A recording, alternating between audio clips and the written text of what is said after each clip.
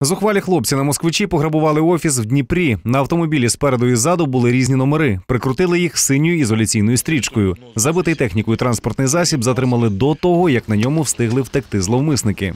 Двох було одразу затримано, виявлено в автомобілі різні речі офісні. Е, Пізніше ще одним екіпажем було виявлено особу, яка втекла. Е, На лінію 102 зайшло повідомлення про те, що на територію одного з офісів проникли троє в масках.